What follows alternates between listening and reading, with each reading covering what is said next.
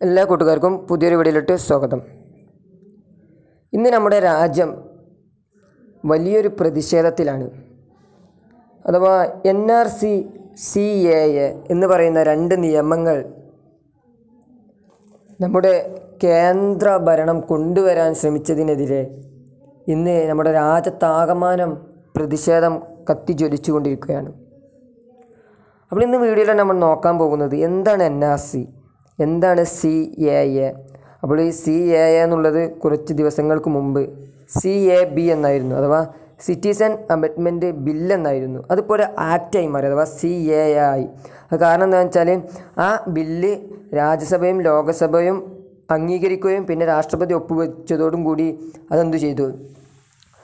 ആ ബില്ല് എന്നുള്ളത് അതൊരു ആക്റ്റായി മാറി അപ്പോൾ നമ്മൾ നോക്കാൻ പോകുന്നത് എന്താണ് സി എ എ അഥവാ സിറ്റിസൺ അമെൻമെന്റ് ആക്ട് പിന്നെ നമ്മൾ നോക്കുന്നത് N R C national registration of citizenship അഥവാ ദേശീയ പൗരത്വ രജിസ്റ്റർ.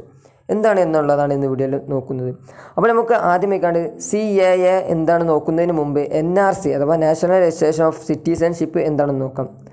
അപ്പോൾ എന്താണ് എൻ ആർ സി എന്ന് വെച്ചാൽ ഒരു രാജ്യത്തെ ജനങ്ങളുടെ വിവരങ്ങൾ അടക്കുന്ന അടങ്ങുന്ന ഒരു വലിയ പട്ടികയാണ് എൻ ആർ സി എന്ന് പറയുന്നത്. അപ്പോൾ ഇത് ആദ്യം അയക്കാണ്ട് ആസാമിലാണ്. സുപ്രീം കോടതിയുടെ വിധി അനുസരിച്ച് ആദ്യം അയക്കാണ്ട് രണ്ടായിരത്തി പതിമൂന്നിൽ ആസാമിലാണ് ഇത് കൊണ്ടുവന്നത്. അപ്പോൾ ആ കാലഘട്ടത്തിൽ അത് വലിയൊരു പ്രശ്നങ്ങൾ കാരണം അതൊരിക്കലും സുപ്രീം കോടതിയിൽ നടത്താൻ സാധിച്ചില്ല. അങ്ങനെ രണ്ടായിരത്തി പതിനഞ്ചിൽ എന്ത് ചെയ്തു? അതിന്റെ കണക്കെടുപ്പെല്ലാം നടന്നു. ഒരു ഒരുപാട് പ്രശ്നങ്ങൾക്കെല്ലാം ശേഷം അവിടെ ആസാമിൽ അതിന്റെ കണക്കെടുപ്പെല്ലാം നടന്നു. അങ്ങനെ രണ്ടായിരത്തി പത്തൊമ്പത് അഥവാ കഴിഞ്ഞ വർഷമായപ്പോൾ അതിന്റെ എന്ത് ഫുൾ ഡീറ്റെയിൽസ് പുറത്തു വിടുകയുണ്ടായി അങ്ങനെ അതിന്റെ ഈ പൗരത്വ പട്ടികയുടെ ഫുൾ ഡീറ്റെയിൽസ് ആസാമിൽ നിന്ന് പുറത്തു വിട്ടപ്പോൾ നാൽപ്പത് ലക്ഷം പേർക്കാണ് അവർ ഇന്ത്യൻ പൗരന്മാരല്ല എന്നൊരു അറിയിപ്പ് വന്നത്. അഥവാ അവരുടെ അവ ഈ എൻ ആർ സി അഥവാ നാഷണൽ അഡ്മിനിസ്ട്രേഷൻ ഓഫ് സിറ്റിസൺഷിപ്പ് അവർ ഇന്ത്യൻ പൗരനാണെന്ന് തെളിയിക്കാൻ വേണ്ടി വോട്ടർ ഐ ഡി ആധാർ അങ്ങനെ തുടങ്ങുന്ന പല രേഖകളാണ് ചോദിച്ചിരുന്നത്. അങ്ങനെ ഈ ചോദിച്ച രേഖകളൊന്നും അവരുടെ കയ്യിലില്ലാത്തത് കൊണ്ട് തന്നെ. കാരണം അവിടെ പല നമ്മുടെ കേരളം എന്ന് വെച്ചാൽ അത്യാവശ്യത്തിന് ലിറ്ററസിയൊക്കെ ഉള്ള സാക്ഷരതയുള്ള നല്ല അറിവൊക്കെ ഉള്ള ആളുകളാണ്. പക്ഷേ ആസാമിലുള്ളത് അവർ സ്കൂളിന്റെ പടി പോലും കാണാത്ത പുരുഷന്മാരും സ്ത്രീകളും ഒട്ടനവധി പേരുള്ള ഒരു സംസ്ഥാനമാണ് ആസാം. അപ്പോൾ അവിടെ നിന്നും ഇങ്ങനെ ആധാറും ജനന സർട്ടിഫിക്കറ്റ് ഒന്നും ഇല്ലാത്ത കാരണത്താൽ നാൽപ്പത് ലക്ഷം പേർക്കാണ് അവർ ഇന്ത്യൻ ജനതയല്ല എന്ന് ഇന്ത്യൻ പൗരന്മാരല്ല എന്ന വാദവുമായി ഈ രണ്ടായിരത്തി പത്തൊമ്പതിലെ എൻ ആർ സി ഡീറ്റെയിൽസിൽ വന്നത്. അപ്പോൾ എന്ത് ചെയ്തു? പിന്നെ വീണ്ടും നാൽപ്പത് ലക്ഷം പേരൊക്കെ ഈ ഇന്ത്യൻ ജനത അല്ല എന്ന് പറഞ്ഞപ്പോൾ രണ്ടാമത് വീണ്ടും എന്ത് ചെയ്തു? അതൊരു പുനർപരിശോധന നടത്തിയപ്പോൾ പത്തൊമ്പത് ലക്ഷം പേരാണ് പത്തൊമ്പത് ലക്ഷം എന്നല്ല പത്തൊമ്പതിലധികം ഒരു ഇരുപത് ലക്ഷത്തിന്റെ അടുത്തോളം പേരാണ് ഇന്ത്യൻ ജനതയല്ല എന്ന് പറഞ്ഞുകൊണ്ട് കേന്ദ്ര ഗവൺമെന്റ് നടത്തിയത്. അപ്പോൾ ഈ എൻ ആർ സി എന്ന് പറയുന്നത് സാധാരണയായി കണ്ട് ഈ രജിസ്ട്രേഷൻ അഥവാ പൗരന്മാരുടെ അവർ പൗരന്മാരാണോ എന്നുള്ള ഈ കണക്കെടുപ്പ് നടത്താറുള്ളത് സംസ്ഥാന ഗവൺമെന്റ് ആയിരുന്നു എന്നാൽ അത് മാറ്റി ഇപ്പോൾ കേന്ദ്ര ഗവൺമെന്റിന്റെ കയ്യിലാണ് ഈ എൻ ആർ സി എന്നുള്ളത് അവർ നടപ്പാക്കുന്നത്. ഈ എൻ ആർ സി എന്ന് പറയുന്നത് എന്തെന്ന് വെച്ചാൽ ആയിരത്തി തൊള്ളായിരത്തി എഴുപത്തൊന്ന് മാർച്ച് ഇരുപത്തിനാലിന് മുമ്പ് അഥവാ ഇരുപത്തിനാല് പന്ത്രണ്ട് മണിക്ക് മുമ്പ് ആ വ്യക്തി അഥവാ ഒരു വ്യക്തിയുടെ എൻ ആർ സി ആണ് എടുക്കുന്നുണ്ടെങ്കിൽ ആ വ്യക്തി രാജ്യത്ത് ജീവിച്ചിരുന്നു എന്നുള്ളതിന് എന്തെങ്കിലും ഒരു തെളിവ് വേണം. അഥവാ ഉദാഹരണത്തിന് ഒരു ആധാരമോ അല്ലെങ്കിൽ വോട്ടർ ഐ ഡിയോ അങ്ങനെ എന്തെങ്കിലും മതി. പക്ഷെ ആ വ്യക്തി ജനിച്ചിരുന്നു എന്ന് ആയിരത്തി തൊള്ളായിരത്തി എഴുപത്തി ഒന്നിന് മുമ്പാണ് ജനിച്ചിരുന്നു എന്നതിനുള്ള എന്തെങ്കിലും തെളിവാണ് വേണം. പക്ഷേ ഈ ആസാമിലുള്ള വ്യക്തികളൊക്കെ എന്ന് പറയുന്നത് അവരൊക്കെ അധികം സാക്ഷരത ഇല്ലാത്തത് കൊണ്ട് അവരുടെ കയ്യിൽ ഇങ്ങനത്തെ വോട്ടർ ഐ ഡിയോ അങ്ങനെ മറ്റു കാര്യങ്ങളൊന്നും ഇല്ലാത്തത് കൊണ്ട് അവർക്ക് അതൊന്നും വെച്ച് കൊടുക്കാൻ സാധിക്കാത്തത് കൊണ്ട് തന്നെയാണ് പത്തൊമ്പത് ലക്ഷം പേര് വരെ ഇന്ത്യൻ പൗരന്മാരല്ലാതിരുന്നത്. പിന്നെ മൊത്തത്തിൽ നമ്മുടെ ഈ മൊത്തത്തിലുള്ള കാര്യം വെച്ച് നോക്കുകയാണെങ്കിൽ ആയിരത്തി തൊള്ളായിരത്തി അൻപത് മുതൽ ആയിരത്തി തൊള്ളായിരത്തി എൺപത്തി മൂന്ന് വരെ ഇന്ത്യൻ പൗരന്മാരായാൽ ഇന്ത്യയിൽ ജീവിക്കാം. പിന്നെ ആയിരത്തി തൊള്ളായിരത്തി എൺപത്തി മൂന്ന് മുതൽ രണ്ടായിരത്തി മൂന്ന് വരെ അഥവാ രണ്ടായിരത്തി മൂന്ന് വരെ ആണെങ്കിൽ അവരുടെ മാതാപിതാക്കളിൽ ആരെങ്കിലും ഒരാൾ ഇന്ത്യക്കാരായാൽ മതി.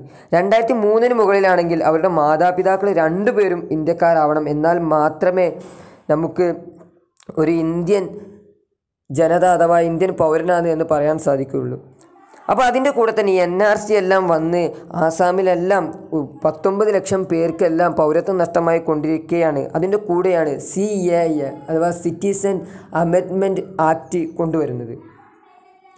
അപ്പോൾ എന്താണ് ഈ സി എ എന്ന് നോക്കാം.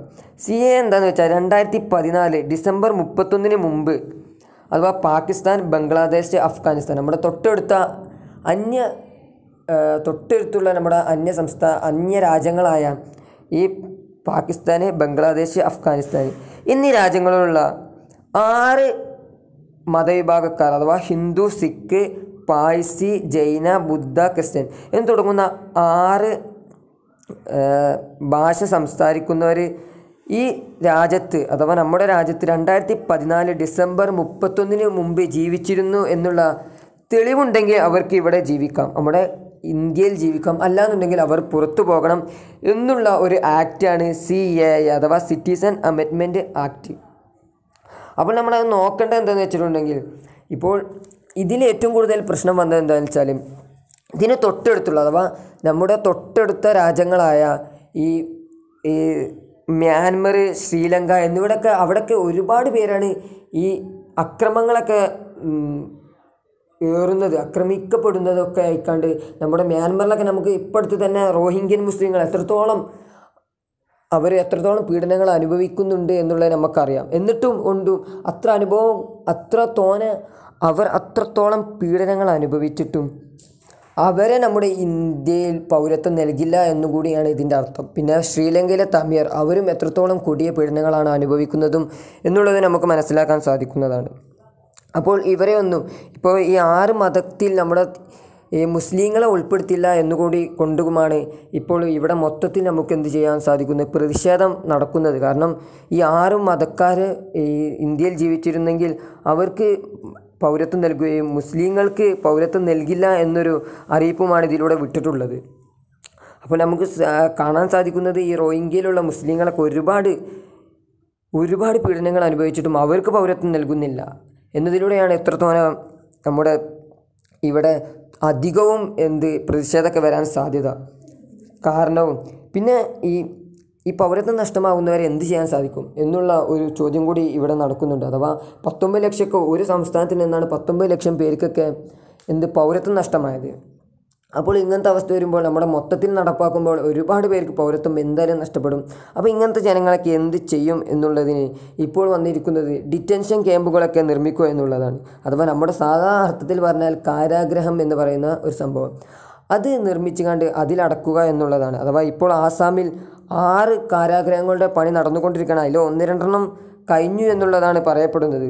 അപ്പോൾ എങ്ങനെയാണ് ഡിറ്റൻഷൻ ക്യാമ്പിന്റെ നിയമങ്ങൾ എന്ന് വെച്ചാൽ സ്ത്രീയെ വേറെയായും പുരുഷനെ വേറെയായും രണ്ടും രണ്ട് ക്യാമ്പുകളിൽ അടക്കുക എന്നുള്ളതാണ്. പിന്നെ ആറ് വയസ്സാവാത്ത കുട്ടികളൊക്കെ കളിക്കാൻ വിടും പിന്നെ ആറ് വയസ്സായ അവരെ വീണ്ടും ഡിറ്റൻഷൻ ക്യാമ്പിൽ അടക്കും എന്നുള്ളതൊക്കെയാണ്. അപ്പോൾ നമുക്ക് തന്നെ ആലോചിച്ചാൽ മനസ്സിലാകും ഈ പത്തൊമ്പത് ലക്ഷം പേർക്ക് ആറ് ഡിറ്റൻഷൻ ക്യാമ്പുകളാണ് അഥവാ കാരാഗ്രഹങ്ങളാണ് നിർമ്മിക്കുന്നത്. അപ്പോൾ എത്രത്തോളം അതിൽ കൊടിയ പീഡനങ്ങൾ അനുഭവിക്കേണ്ടി വരും ആ ഡിറ്റൻഷൻ ക്യാമ്പുകളെ അനുഭവിക്കേണ്ടി വരും എന്നുള്ളത് നമുക്ക് മനസ്സിലാക്കാവുന്നതേ ഉള്ളൂ. അപ്പോൾ നമ്മളിങ്ങനെ ആലോചിക്കുന്നുണ്ടാകും എന്താണ് ഇപ്പോൾ നമുക്ക് എന്തുകൊണ്ടാണ് ഇത് ഇങ്ങനെയെല്ലാം നാം പ്രതിഷേധിക്കേണ്ട ആവശ്യം എന്നത്? അഥവാ നമ്മൾ പ്രതിഷേധിക്കേണ്ട ആവശ്യം തന്നെയുണ്ട്. ഇപ്പോൾ ആസാമിൽ അത് നടപ്പാക്കിയപ്പോൾ തന്നെ പത്തൊമ്പത് ലക്ഷം പേർക്കാണ് അവരുടെ പൗരത്വ നഷ്ടമായത്. അപ്പോൾ നമ്മുടെ കേരളത്തിലും കേരളത്തിന് അടുത്തുള്ള രാജ്യങ്ങളിൽ സംസ്ഥാനങ്ങളിലുമെല്ലാം ഇങ്ങനെ നടപ്പാക്കിയാൽ അവിടെയും ലക്ഷക്കണക്കിന് കോടിക്കണക്കിന് ആളുകൾക്ക് പൗരത്വം നഷ്ടമാകും.